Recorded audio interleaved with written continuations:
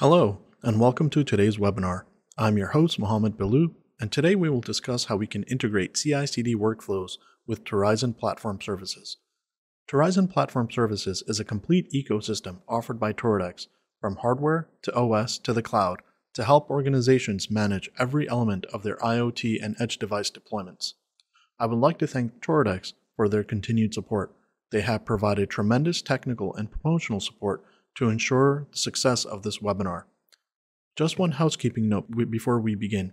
If you have any questions during the webinar, feel free to enter them into the chat or Q&A windows and I will address them during the question and answer session at the end of the webinar. You are also welcome to ask your question at the end. Here we see today's agenda. As with anything that I do, I will start with the motivation we will see some of the problems that arise during this typical software development lifecycle for IoT and edge devices. Second, we will understand what CI CD workflows are and how they can mitigate some of these issues. Third, we will briefly discuss Torizon in general, but focus primarily on Torizon platform services. Fourth, we will understand the details of a particular CI CD platform, as an example, which in this case is GitHub Actions. Fifth, we will understand and see examples of how we can combine GitHub Actions with Torizon Platform Services to address the issues we originally discussed related to the software development lifecycle. Finally, we will discuss next steps and move on to the Q&A session. But first, a little bit about myself and MAB Labs Embedded Solutions. We are a Toradex technology partner, and our primary focus is on the entire embedded system software stack. Our core focus is on design work where we help companies of all sizes in their product development, ranging from small consumer electronic startups all the way up to large medical device companies. We also offer training services, both remote and on site, related to embedded Linux, the Yocto project, the Zephyr Project RTOS, and Qt. I encourage everyone to check out our website, mablabs.com, connect with me on LinkedIn, and sign up for our BIOS Food newsletter where we share the latest news surrounding webinars, courses, workshops, and blog posts. I look forward to connecting with everyone. First, let's understand the motivation behind today's webinar. Here, we see the typical software development lifecycle, or SDLC for short. An embedded software engineer usually begins their day working on a bug fix or feature enhancement. Once they're satisfied with their implementation, they begin testing their work to make sure it satisfies the feature requirement or addresses the bug. They then usually hand it over to a test team, which may be a single person or a group of individuals. The test team runs the latest release through their own set of requirements and confirms whether the requirements have been met or not, and whether any additional regressions have been discovered. If the requirements have not been met or there are regressions, they let the development team know and the process begins again. However, if the system test team is satisfied with the results of testing, they hand it off to the deployment team for release to units out into the field or to the assembly line in manufacturing at the factory. Of course, issues arise during this process. Unfortunately, some of these issues are not with the implementation itself. Instead, these are logistical issues and they take away time from individuals to perform their actual duties. Uh, these are some quotes that I've heard often during my career at different stages of the uh, software development life cycle, and I'm sure you've, you've heard these as well. For example, during development, it's common for two different developers to have different compilation and or functional results of the same codebase. For example, I have often overheard the quotes, well, it builds for me, or that it works for me, when there are such discrepancies. During testing, it can get even worse, since usually multiple teams are involved and one team may not have the expertise of the other team, or there may be problems with documentation. For example, a common quote that I've heard in the past is, well, which version should I use? Because it may not be obvious. Additionally, because of potential last minute issues and pressing deadlines, versioning may go out the window, and we typically such file names as v2.0.1 final final. And even worse, these binaries are stored in a file store with no permission control. Thus, in my experience, there have been instances where a particular target version for testing is no longer present because it got accidentally deleted. And finally, there's always the question of a team using the right binary version when there are functional discrepancies across the teams, and there's this always back and forth about whether a the test team is using the right version or whether the, the development team has actually uploaded the right version. And so there, there needs to be a way, a mechanism to mitigate these issues. Similarly, during deployment, the issues are similar to those in testing. There are always questions, or usually always questions, about whether the appropriate version was flashed or pushed up to devices on the assembly line in the factory or out in the field, respectively. Based on my experience, I've come to the conclusion that most of the issues outlined in the last few slides are because we're human and we make mistakes. Thus, if there are more manual steps in any process, the likelihood of error increases. We need a way to minimize these manual steps. Additionally, there's usually no central location for individuals to refer to or for documentation or binaries.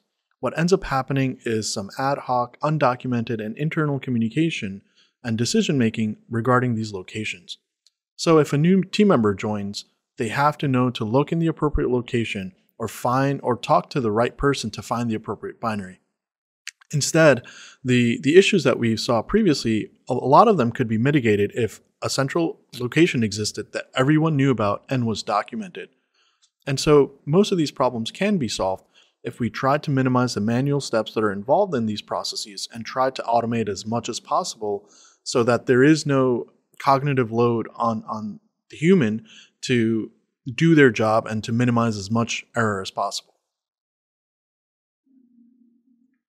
Next, let's see how CI/CD workflows can help mitigate some of the typical issues that are associated with the software development lifecycle that we just talked about, how these workflows can minimize the manual steps and potentially reduce as much error as possible. First, let's discuss what CI/CD actually is. The acronyms stand for Continuous Integration and Continuous Delivery or Deployment. Continuous integration essentially means that multiple developers can quickly iterate on their features and bug fixes.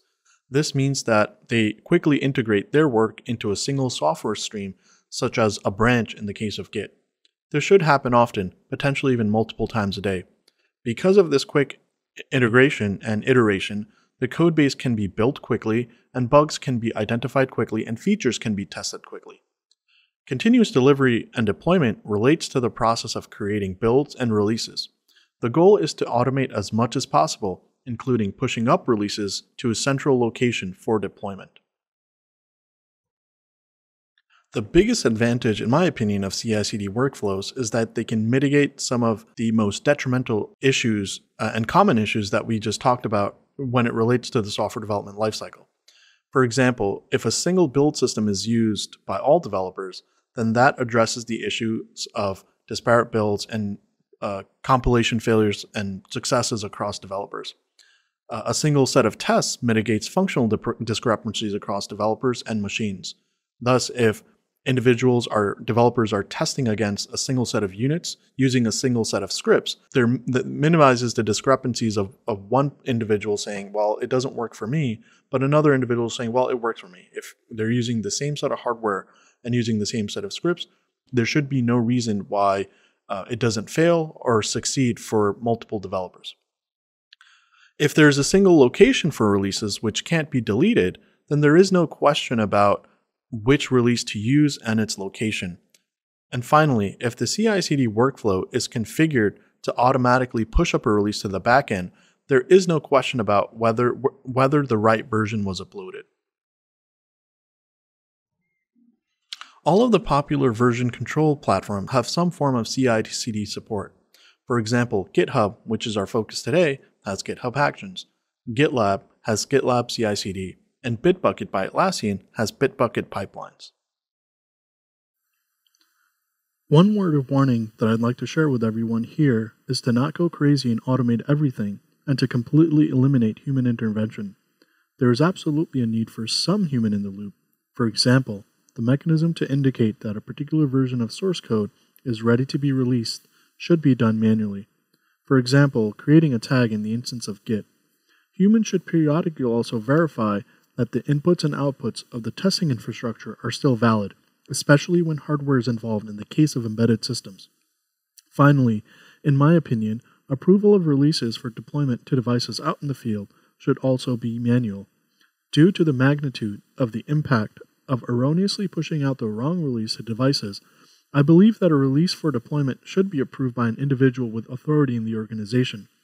Then, mechanisms can be leveraged to automatically deploy these authorized releases. Phase rollouts can also be leveraged so that only a subset of devices out in the field receive an update. This way, there can be additional field testing validation before a more complete rollout is performed. Now let's talk about Torizon and Torizon Platform Services, which are complete edge uh, and IoT ecosystems offered by Toradex. Torizon is a complete ecosystem offered by Toradex to help organizations manage every aspect of their IoT and edge devices, ranging from the hardware to the OS to the backend and cloud. Torizon has features that help organizations manage every stage of the software development lifecycle. For example, at the development stage, Torizon offers plugins for VS Code.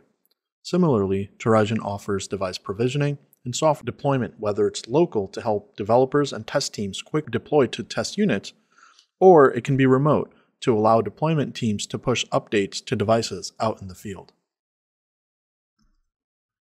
Torizon seamlessly integrates all aspects of edge and IoT devices, from hardware and software development all the way to remote updates and fleet monitoring. Torizon also leverages proven open source frameworks such as Uptane, OS Tree, and actualizers to accomplish all of the above tasks. Torizon offers a web interface for device, software, and fleet management, which can be accessed using this URL.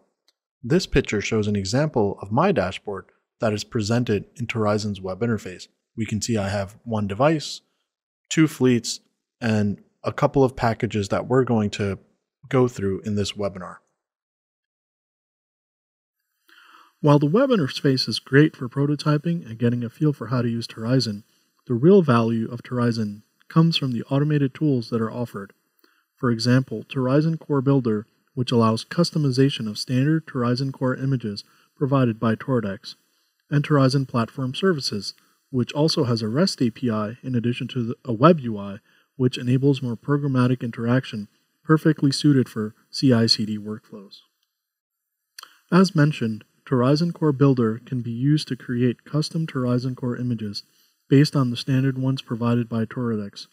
For example, we can modify the device tree or add overlays to account for our custom hardware. Or we can include pre-provisioned containers to a bare Torizon Core image and deploy it. We can also incorporate custom kernel modules and modify the splash screen with the logo of our own organization. As we'll see later in the examples, the Torizon Core Builder tool is essentially a Docker container created by Toradex but disguised as a Linux command. This slide describes the steps that we need to follow to use Torizon Core Builder. We'll need to keep these steps in mind as we walk through the examples later in this webinar. First, we have to retrieve the script. Then we quote unquote source the script, which essentially pulls the latest version of the Torizon Core Builder Docker container and installs it on our system. Then we execute the Torizon Core Builder command itself. This command allows us to load a standard or custom Torizon Core image, modify the image as listed in the previous slide, and finally create the and generate the new modified image. We can also use Torizon Core Builder to upload images to Torizon backend. This is the command we need to invoke to do so. We would need to download the zip file that contains our credentials against the Torizon backend.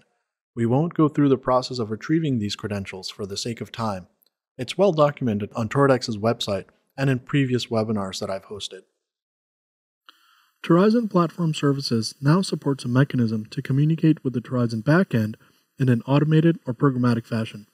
In addition to a web UI, it also has a REST API that allows us to programmatically perform almost all of the operations that we can do with the web interface.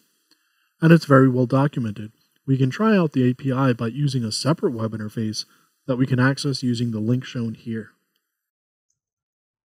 Before we can use the Torizon Platform Services web interface, we have to generate and download the API keys from the Torizon web interface. We can do so by clicking on the API Client Manager tab in the account settings of the Torizon web interface and then click on Create an API Client.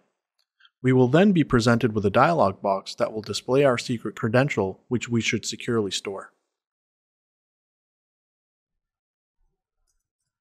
Once we have the API key and secret, we can navigate to the Torizon Platform Services web interface, click on the green Authorize button, and enter our API key and secret in the resulting dialog box. Click Authorize, and we will be authorized to interact with Torizon Platform Services using our credentials and using our instance of the Torizon backend. After authorizing ourselves to gain access to the Torizon backend, we can go to a particular endpoint, click on uh, the caret to drop down the documentation about the endpoint, and try it out for ourselves. In this case, this endpoint retrieves all of the devices that are present in that, that have been registered and provisioned with our instance of Torizon backend. We can keep essentially all of these entries blank and just click try it out, and we will be presented with a response that indicates all of the devices that are that are provisioned on our instance of the backend.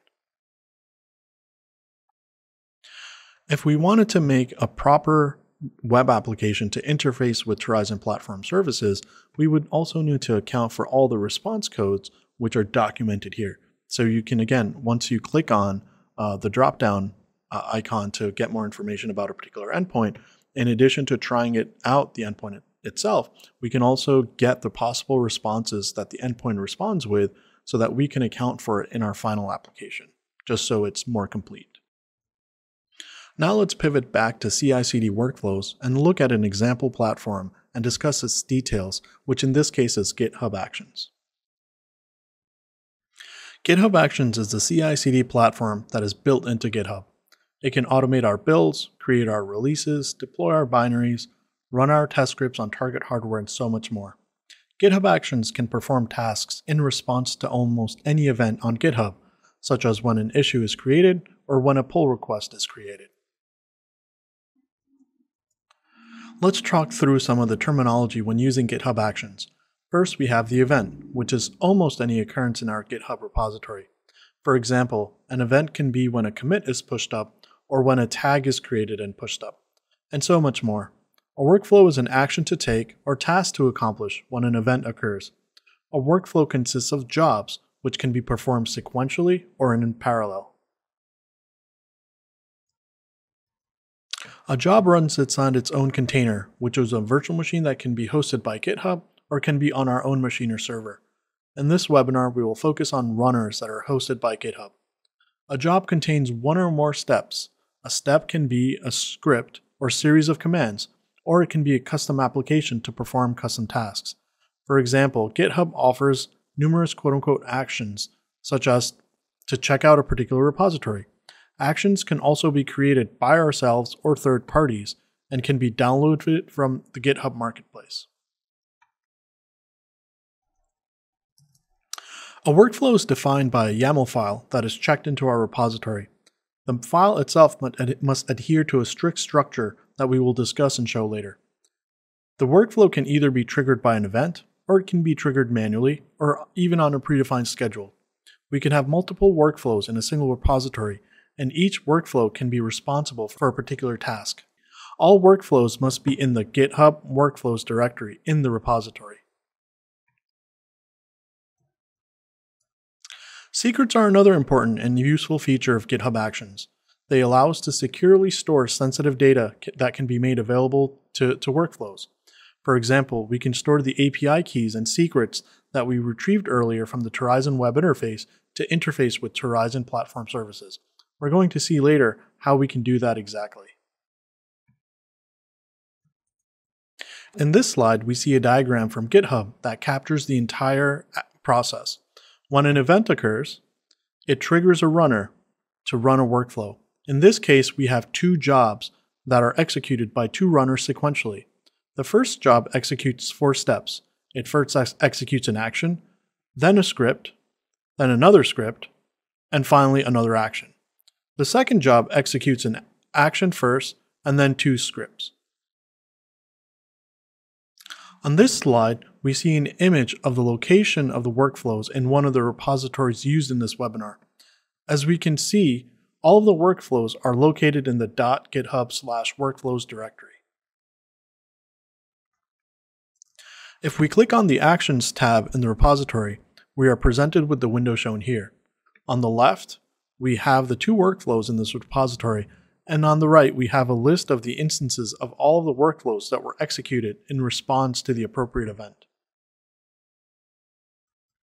Armed with an understanding of Torizon platform services and GitHub Actions, let's see how we can put them together to minimize manual steps and in turn errors in the software development lifecycle. We will have two goals in mind. First, we will use GitHub Actions to create a custom Torizon core image with our custom Yocto layer. We will push up this custom image to our Torizon backend using Torizon Core Builder. Second, we will use GitHub Actions again to push up a Docker Compose file to our Torizon backend. The Compose file consists of a sample application that we want to run on our devices. In this instance, strictly for demonstration purposes, we are going to be using the REST API. Pushing up a Docker Compose file to Torizon can also be done using Torizon Core Builder, and it is the preferred mechanism. Torizon Core Builder has a fair bit of infrastructure and checks in place to ensure robustness. There are four repositories that are the focus in this, of this webinar today.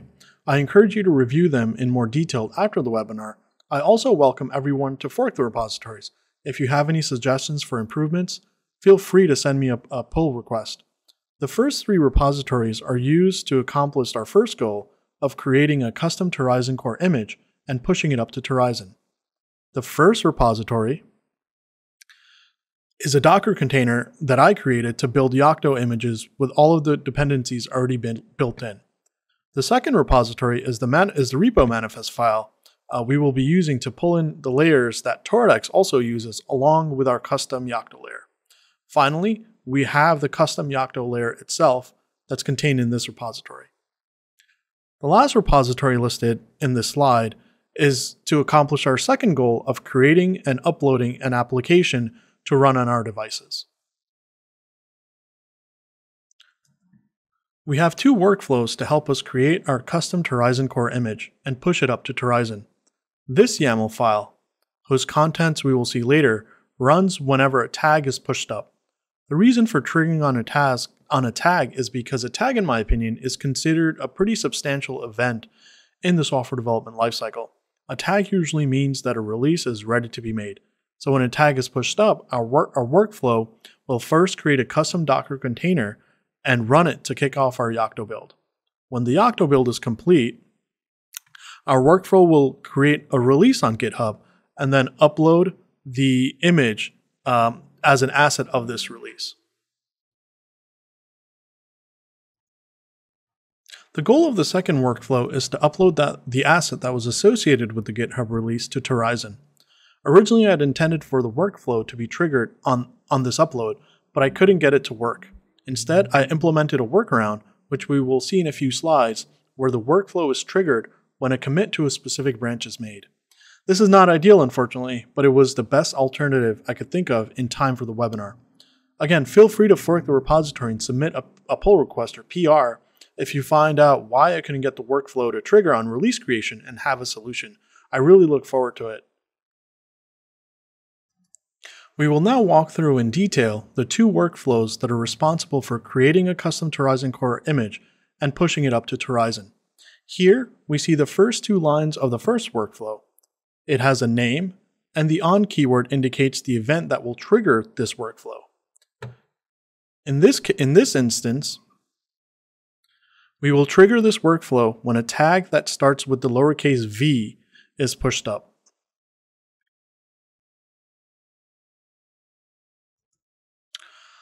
The next set of lines that are shown here describe the different jobs in this workflow. Here we see the first job, which we call make release. We also describe the runner that, that we want this job to run on. Typically, we can use the free runner that is offered by GitHub, but it only has 15 gigabytes of free disk space and is generally a low-end compute resource. If you're familiar with Yocto, you're aware that a fair degree of disk space is required and some decent compute horsepower is preferred to speed up the builds. So instead, I opted for a beefy runner, still hosted by GitHub, but that resulted in some minimal cost for me. But it was well worth it for this webinar though, because I could quickly make builds and not run out of disk space. The next lines, shown here, describes the steps in a job of a workflow. First, we have the name of the step. In this case, we will check out the Docker files repository. We use an action provided by GitHub to do so. We instruct this action, called checkout, um, which repository to check out using the repository keyword. If we didn't provide a keyword, the action would default to the current repository, which we'll see later.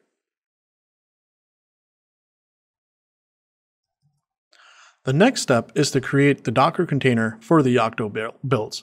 Here, instead of using an action, we run, rerun commands in the runner terminal. The pipe symbol, shown here, indicates that we will be running multiple commands, even though we are only running one in this instance. Uh, in this case, we're instructing Docker, which is pre-installed in our runner by GitHub, to create a Docker container called Yocto Builder. If you're familiar with Docker with with Docker commands, uh, th- this would be pretty obvious to you. That is simply just creating uh, a, a, Docker container called the Yocto Builder. In the next step shown here, we are running the Docker container itself using repo to check out the needed layers. So we're, we're actually running multiple steps uh, by invoking bash in one Docker invocation. First, we're using repo to um, check out the needed layers for our Yocto uh, build itself right here. Um, and then we're setting up the Yocto environment. We're sourcing the setup. And then finally, we're actually running Bitbake to actually build a container itself. We also save the file to the top level directory of our runner, of, of our workspace in the runner um, for easy access later in future steps. And finally, because we want to communicate the name of the final image with future steps, uh, we use an environment variable or we, we, we have a variable here that we save that, that contains the, the name of the file at the top level, and we store that in GitHub's environment, which is, this, which is this variable itself.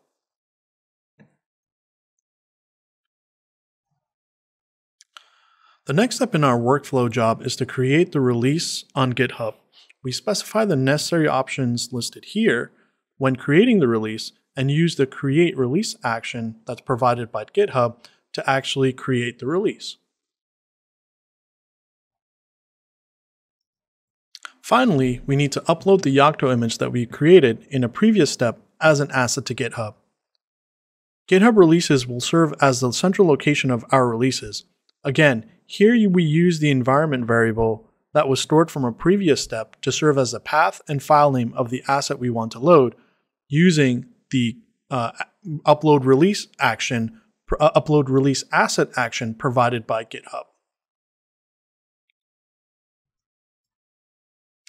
Finally, if we create and push up a tag, we can see that the release was created and the asset corresponding to the custom Torizon Core Yocto image was also uploaded.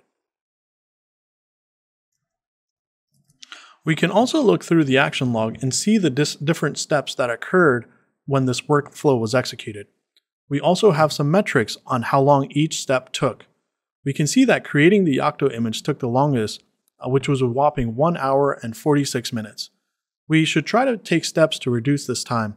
We will see some strategies that I have in mind that can be employed at the end of the webinar. Now that we have our Yocto image pushed up to GitHub releases, we need to upload it to the Torizon backend. This is taken care of by this workflow. Again, we have the name and the event uh, that are that is that triggers this workflow. As mentioned previously, I couldn't get this workflow to trigger when a release is uploaded, even manually by me. Instead, I opted for a hack where it's checking for a push of a particular branch, in this case called release. As we saw earlier, we need the credentials.zip file to successfully use Torizon Core Builder. The question is, how can we store and use these credentials securely on GitHub? Of course, we can use GitHub secrets, but unfortunately, GitHub secrets can't store files. Instead, what we can do is we can encode the file in base64 format and store the result as a secret. Then in our workflow, we can decode the secret back to a file and use it with Torizon Core Builder. Here we can see the command in Linux uh, to encode the zip file in base64 and then finally view the result by catting the resulting file. We can then store this encoded value as a secret, which is shown here. This menu can be accessed in the settings section of our GitHub account. We can also see that we that I've preemptively added the uh, API key and, and secret key uh, for that is associated with my Torizon account for interfacing with Torizon platform services, which we'll get into later. In this slide, we can see exactly how to retrieve our credentials file from GitHub Secrets using this step. We can use the marketplace action shown here, secret to file action provided by Mobile DevOps. And what we can do is we can specify the name of the secret and the resulting file. We also can specify the root workspace directory as the working directory to store the file and instructing the, uh, the action that this is not an executable. If we instruct the action that it is an executable, the action simply marks it with the appropriate permission in Linux, making it executable. The next step is to download the release that we uploaded to GitHub in the previous workflow. Again, we use a marketplace action called release downloader, uh, made available by user Robin Raju, um, to perform this task. We instructed to use the latest release, and we we instructed to download the file name uh, with a tar extension using wildcards, and we also instructed that it is uh, a tarball. We tell the action to store, uh, to create a directory called latest release and store the file there. Finally, the last step is to push up the tar file to the Torizon backend. Since the file name is unique, we use a bash variable and wildcards to retrieve and store the file name. Also, I was running into issues when attempting to source the Torizon Core Builder script as it is. Um, instead, remember we said that uh, the, the script itself is simply a wrapper to execute and run a Docker container. So what we can do is simply execute the appropriate Docker command by analyzing the script itself. So in this case, first, we unpack the image that corresponds to this tar file, which is our custom Torizon Core image. And then we execute the appropriate push command uh, with the necessary credentials, giving it the credentials.zip file, the package name, the version, um, to actually push it up to the Torizon backend. And if we check the Torizon image, we can see that our Torizon Core image was indeed populated to the backend. Excellent. Now we move to the next workflow where we want to upload a Docker Compose file to the Torizon backend. The workflow is contained in the YAML file shown here uh, in the repository right shown in this URL. Now let's walk through the YAML file itself. Again, we can see the familiar options that we saw before of the workflow name and the event that will trigger it. Now, for the next step, remember that we stored our API and secret as GitHub secrets. To access them inside the workflow, we will need to expose them as environment variables. Finally, we have a single job that consists of two steps. The first step simply checks out the current repository using the GitHub checkout action. Remember, since the repository parameter here is not specified, the action defaults to the current repository. Then we run a Python script to actually perform the uploading operation.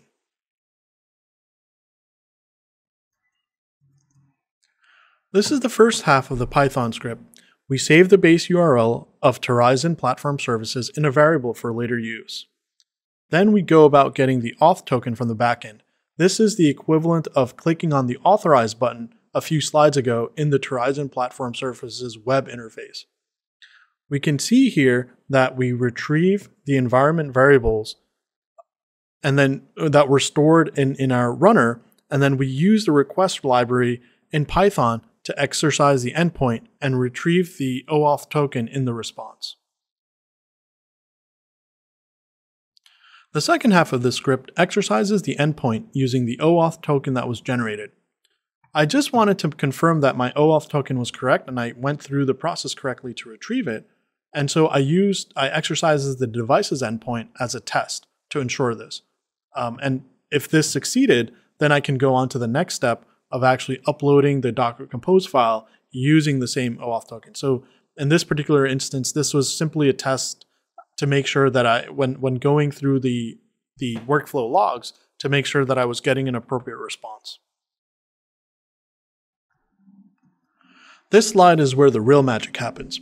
We read the compose file that was checked out in a previous step right here, right?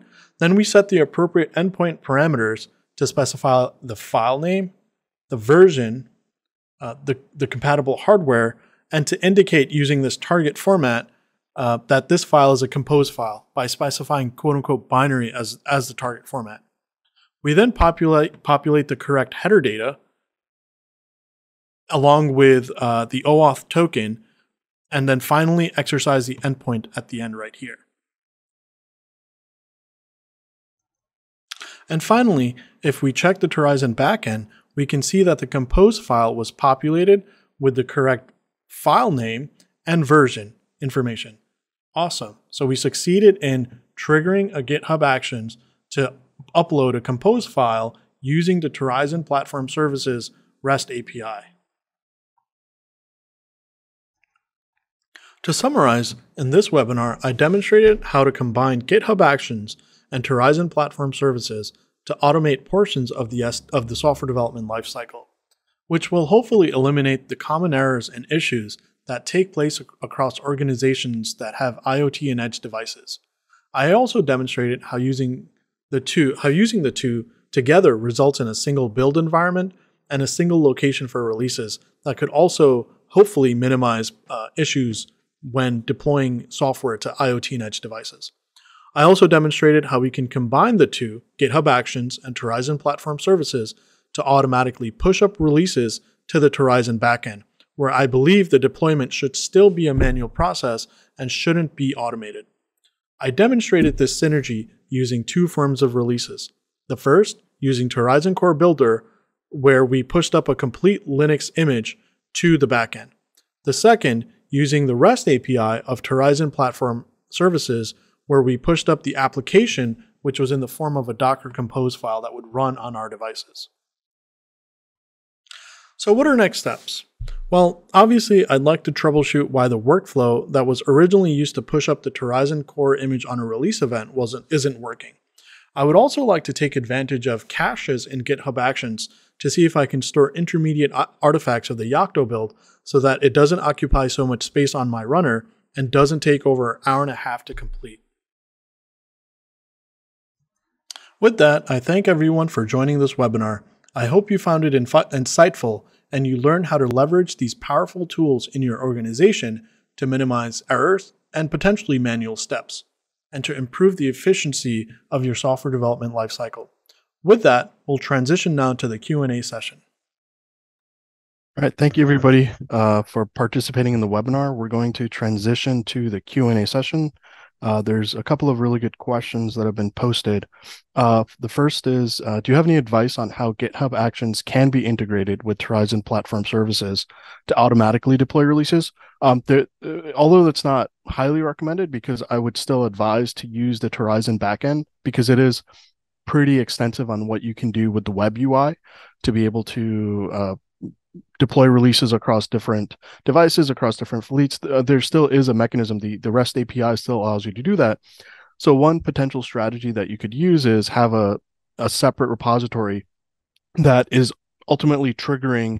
Um, you, you, could have like a manifest file that specifies, oh, this is uh, the the release that should go along with these devices, and then you can trigger whenever that gets pushed up. You can trigger um, a real uh, an action that actually then calls out to the REST, REST API to uh, push out uh, the, the the specified release and and add some checks in there to make sure that that release actually exists.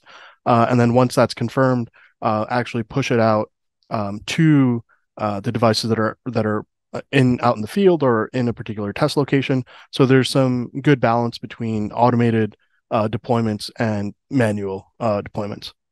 Um, the other question, the next question is, what are some advantages uh, of using a self-hosted runner versus a, a GitHub hosted runner? So um, uh, I, I, mentioned, uh, or I, I don't think I mentioned self-hosted runners, uh, but what that is is really just you you have a machine uh, that's under your control, uh, that's not owned by GitHub, that you basically have some processes that are running in the background or applications that are listening uh, for GitHub to basically instruct it to actually launch a particular workflow. Um, and some of the advantage of a self-hosted runner is that while you're not, if you need a beefy runner like I did in this instance, you're not paying for per minute use or whatever the rate is uh, per minute per hour that you would have to pay for to use something that's hosted on GitHub. You can spec it out however you want, and it's essentially yours.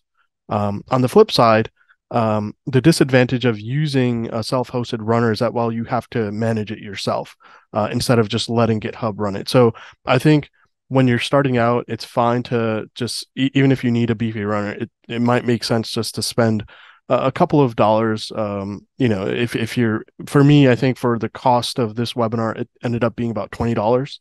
Uh, and I was doing, uh, if you look through the the releases, right, we see like 24 builds that I was doing. Um, so that's not that much versus the cost of actually maintaining it yourself. But again, as your team grows, as your company grows, then it might make sense to have a self-hosted runner because the cost of having it on GitHub for multiple team members that might be doing multiple builds a day, um, maybe not as uh, maybe not as cost effective as having a self-hosted runner that you can also have under your the control of your organization so you can manage where build artifacts are stored. It's much easier to cache builds. You don't have to worry about that. So there's benefits for a growing team um, to have uh, a self-hosted runner instead of if you're just starting out and you're looking to play around. Um, if anybody else has any questions, you can um, ask them in the the chat window, or you can unmute yourself and you know feel free to just uh, ask your question uh, verbally. Okay, um, give people one more minute. See if anybody has any questions. Great. Well, I, I thank everybody for participating in the webinar. Uh, again, reach out to me uh, if you have any questions. You can reach out to me on, on my email, on my website, on LinkedIn. Uh, sign up for our newsletter. Uh, yes, the recordings will be uh, available, uh, both Toradex and if you follow my newsletter, we'll be sending out links to the recording. Um, so yeah, I, I hope everybody enjoyed uh, this webinar, and hopefully there will be an, a follow up one uh, where we can dive more deeply into certain uh, different aspects of Torizon. Thank you, everybody.